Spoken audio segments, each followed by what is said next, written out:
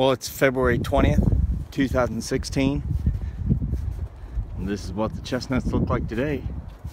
We're walking through some snow. It's a beautiful day.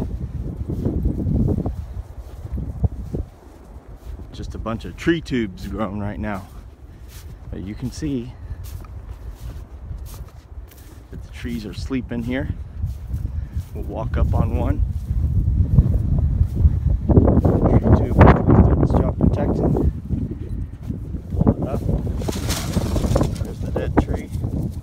hibernating tree.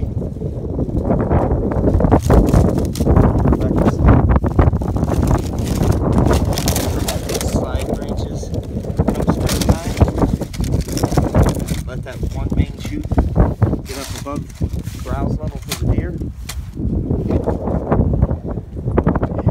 Check back in here once spring comes, although it feels like spring today. It's very early. Gorgeous day.